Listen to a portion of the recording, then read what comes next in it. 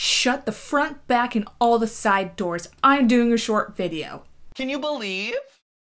Continuing to share my Parisian adventures with you, this pocket size installment is to share with you my realization that I think the back of Notre Dame does not get nearly as much loving as the front of it does, which is frankly a darn shame. It's beautiful.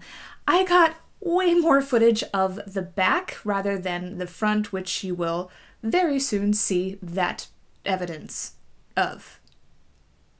Oh, so smooth. Check it out right now.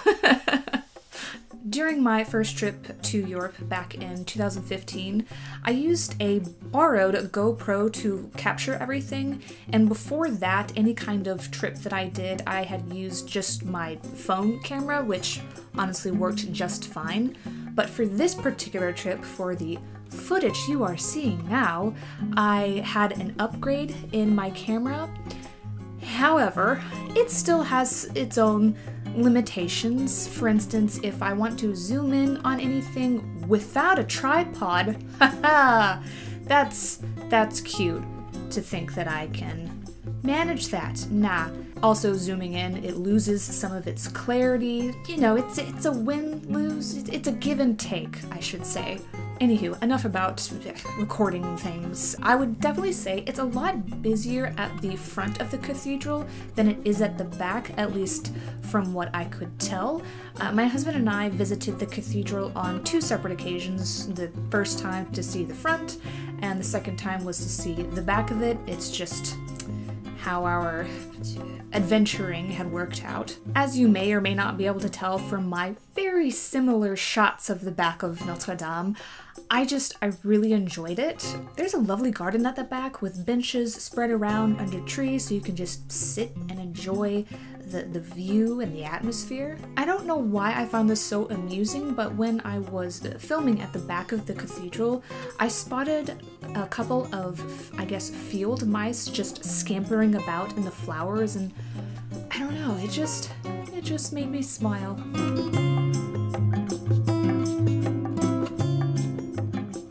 Camera captures it well enough, but the moon was just so pretty that particular evening that we went. It kind of created a magical feeling to the space.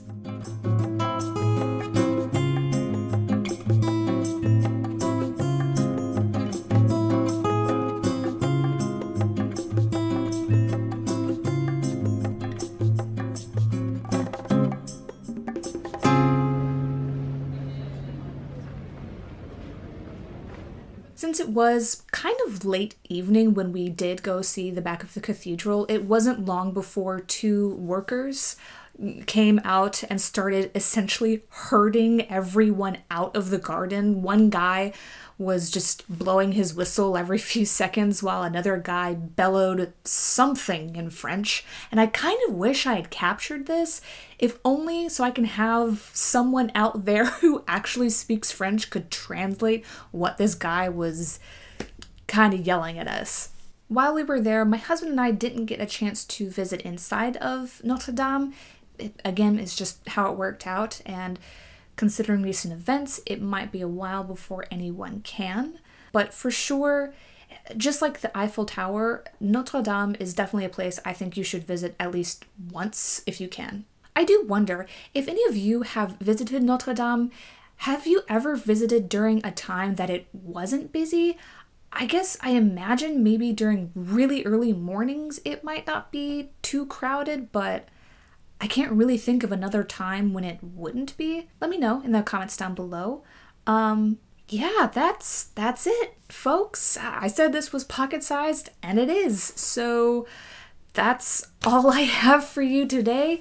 And thank you all so much for watching, and I will see you in my next video. Bye!